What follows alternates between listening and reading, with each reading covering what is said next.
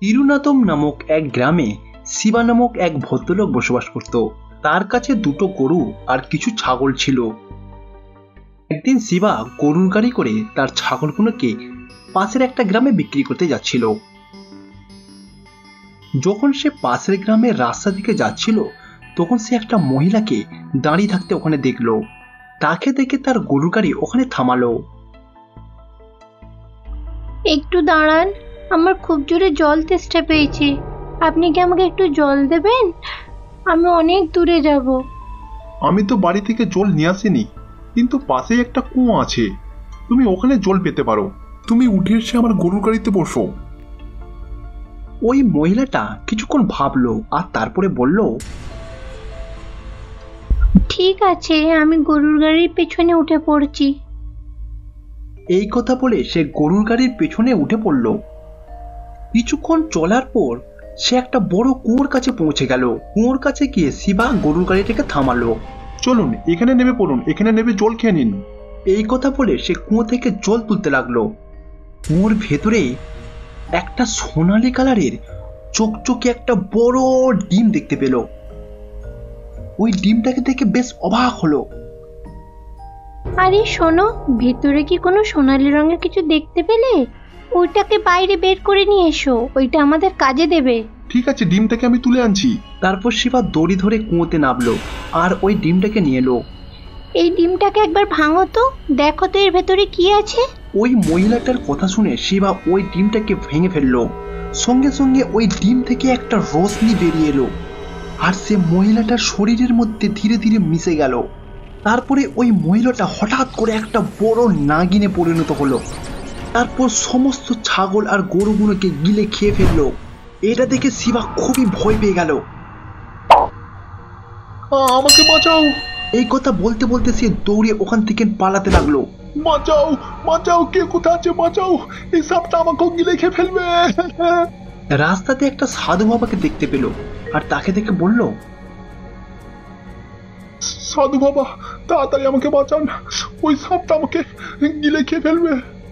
তুমি ভয় পেও না, বাবা। ওটা কোনো নাগিন না। ওটা একটা জাদুর শক্তি দিয়ে তৈরি একটা ডাইনি। ওই ডাইনির পুরো শরীর সাপ দিয়ে তৈরি। এই রাস্তা দিয়ে যাতায়াতকারী সমস্ত পথচারীকে সে বিরক্ত করত। যখন আমি এটা দেখেছিলাম, তখন আমি তার শক্তিটাকে মন্ত্রের সাহায্যে সোনালি আন্ডার মধ্যে বন্দি করে দিয়েছিলাম আর আন্ডাটাকে কুয়োর মধ্যে ফেলে দিয়েছিলাম। কিন্তু সে আবার সাধারণ মহিলার রূপ ধারণ করে এই জঙ্গলের মধ্যে ঘোরাফেরা করতে থাকে। তুমি ওই বহুরূপী মহিলাটার কথা শুনে ওই ডিমটাকে ভেঙে ফেলেছো।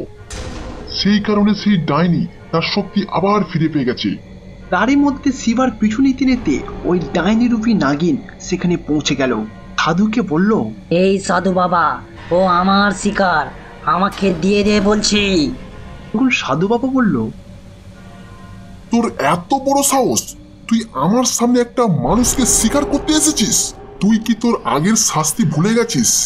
তোর অহংকার আমি এক কুড়ি ভাঙছি। এই কথা বলে সাধু বাবা একটা বড় সোনালি ডিম বানালো। তারপর ওই নাগিনকে ডিমের মধ্যে ঢুকিয়ে দিল। তারপর সাধু বাবা মন্ত্রের সাহায্যে ডিমটাকে ছোট করে শিবাকে দিল। বাবা তুমি এই ডিমটাকে দূরে কোথাও কোনো মাটির মধ্যে পুঁতে দেবে। শিবা ডিমটাকে হাতে নিয়ে চারিদিকে দেখে নিল। সেখানে সে একটা গুপ্ত সুরঙ্গ দেখতে পেল। সে সুরঙ্গের ভেতরে গেল আর ডিমটাকে ওখানে রেখে দিল। তারপর সে বাইরে এসে ওই সুরঙ্গের মুখটাকে বন্ধ করে দিল। যাতে করে ওই সুরঙ্গের মধ্যে আর কেউ না প্রবেশ করতে পারে। তার প্রাণ বাঁচানোর জন্য সাধুমশাইকে ধন্যবাদ জানালো। পুরো ঘটনাতে শিবা খুবই ভয় পেয়ে গেছিল। তারপর সে দৌড়ে নিজের বাড়ি পালালো। দক্ষিণপুর নামক একটা গ্রাম ছিল।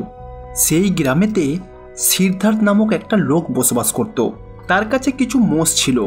সে বাড়ি বাড়ি গিয়ে মোষের দুধ বিক্রি করত। প্রতিদিনের মতো একদিন যখন দুধ বিক্রি করতে যাচ্ছিল তখন কারও আওয়াজ সে শুনতে পেল। বাঁচাও আমাকে কেউ বাঁচাও আমাকে এই আগুন থেকে কেউ বাঁচাও। সিদ্ধার্থ চারিদিকে তাকিয়ে দেখল। কাউকে না দেখতে পেয়ে কেউ কি বিপদে আছো? ঠিক তখনই সে একটা সাপকে দেখতে পেল যে আগুনের মধ্যে পুড়ে যাচ্ছিল। এটা দেখে সে ভয় পেয়ে গেল। শোনো আমি হাত জোড় করছি আমাকে একটু রক্ষা করো। আমি একটা জাদুকর সাপ আমি তোমার কোনো ক্ষতি করব না। সাপটা তার প্রাণ বাঁচানোর জন্য সিদ্ধার্থের কাছে অনুরোধ করল। তারপর সিদ্ধার্থ সমস্ত দুধ আগুনের মধ্যে ঢেলে আগুন নিভে দিল আর সেই সাপকে বাঁচালো। অনেক অনেক ধন্যবাদ বন্ধু তুমি সত্যি খুব ভালো মানুষ। ওই দুধগুলো তোমার রোজগারের কারণ ছিল। তবুও তুমি সেই দুধগুলো আগুনে ঢেলে আমাকে বাঁচিয়েছো। আমার তোমাকে সেই জন্য কিছু উপহার দেওয়া দরকার। তুমি যা চাইবে চাইতে পারো। সিদ্ধার্থ কিছুক্ষণ ভেবে বলল আমার একটা বড় দুধ ভর্তি ট্যাঙ্কার চাই। ওই ট্যাঙ্কারের সাহায্যে আমি শুধু এই গ্রামে নই অন্য আরও সমস্ত গ্রামে ওই ট্যাঙ্কারে করে দুধ বিক্রি করে অনেক টাকা উপার্জন করব। তোমার এই ইচ্ছা নিশ্চয়ই পুরো হবে। সঙ্গে সঙ্গে একটা বড় দুধের ট্যাঙ্কার ওখানে চলে এলো। তারপর সিদ্ধার্থ সাপকে ধন্যবাদ জানিয়ে ট্যাঙ্কার নিয়ে চলে গেল। পরের দিন সকালে সে তার মশের দুধ দুয়ে ওই ট্যাঙ্কারের মধ্যে ভরতে লাগল। সেই দুধ ওই ট্যাঙ্কারের একটা কোনো ভরল না। এতে করে সে রেগে মেগে আবার ওই সাপের কাছে গেল। আমি তোমার কাছ থেকে কি চেয়েছিলাম? আর তুমি আমাকে কি দিয়েছ? কি হয়েছে বন্ধু? তুমি যা চেয়েছো তাই দিয়েছি। আমি এক ট্যাঙ্কার ভর্তি দুধ চেয়েছিলাম। এমন নয় যে আমি ওই খালি ট্যাঙ্কারকে দুধ দিয়ে ভর্তি করব। ওই ট্যাঙ্কারে আমি ছ মাস ধরে দুধ ভর্তি করলেও ট্যাঙ্কার ভর্তি হবে না। এই ট্যাঙ্কারটা যে তুমি আমাকে কি ভেবে দিলে এই ট্যাঙ্কারটা তো আমার কোনো কাজেরই নয়। আচ্ছা আচ্ছা রাগ করো না। এবার থেকে যখনই তুমি দুধ ঢালবে সব সময় দুধ ভরাই ট্যাঙ্ক পাবে। তুমি ওই দুধকে বিক্রি করে খুশি থাকো। এতে করে সিদ্ধার্থ খুশি হলো আর সেটাকে নিয়ে বাড়ি চলে গেল।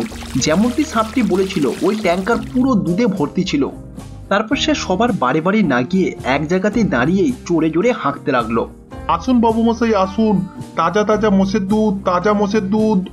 এত বড় অদ্ভুত ধরনের দুধের ট্যাঙ্কারকে দেখে সমস্ত গ্রাহক ওখানে এসে দুধ কিনে নিয়ে যেত। কিছুদিন এইভাবেই কেটে গেল। প্রতিদিন কিছুটা দুধ ঢেলেই পুরো ট্যাঙ্কার দুধে ভর্তি পেয়ে যেত। সে গ্রামের সকলকে দুধ দিতে লাগল। একদিন সে ট্যাঙ্কারের সমস্ত দুধ বিক্রি করে ফেলল। ঠিক তখনই আরও কিছু গ্রাহক তাকে এসে বলল আরে দাদা ভাই আমাকে তিন লিটার দুধ দিন তো। ট্যাঙ্কারের সমস্ত দুধ বিক্রি হয়ে গেছে আপনি একটু আগে এলে পেয়ে যেতেন। তারা সবাই নিরাশ হয়ে বাড়ি ফিরে গেল। এইভাবে প্রতিদিন কেউ না কেউ দুধ শেষ হবার পড়ে আসতো আর তারা খালি হাতে ফিরে যেত। গ্রাহকরা ফিরে যাবে এটা সিদ্ধার্থের ভালো লাগল না। কাল থেকে আমি একটা কাজ করব।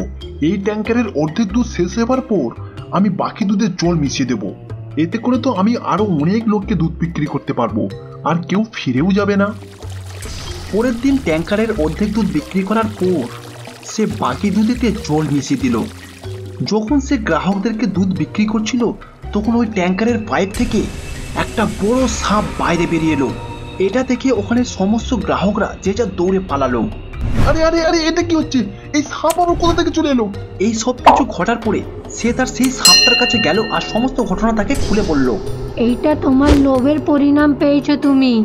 একটু বেশি পয়সা কি হয়ে গেছে? তুমি এত লোভী হয়ে গেছো? তুমি আর আগের মতো নেই। টাকা পেতেই তুমি দুধে জল মেশাতে শুরু করেছ? আমি এক্ষুনি ওই দুধের ট্যাঙ্কে ফিরিয়ে নিচ্ছি। সাপটা ওই ট্যাঙ্কারকে উধাও করে দিল আর নিজেও উধাও হয়ে গেল। সিদ্ধার্থ কাঁদতে কাঁদতে বাড়ি চলে গেল। পরের দিন সে পুনরায় আগের মতো লোকের বাড়ি বাড়ি গিয়ে দুধ বিক্রি করতে লাগল। কথায় আছে না, অতি লোভে তাঁতি মোড়ে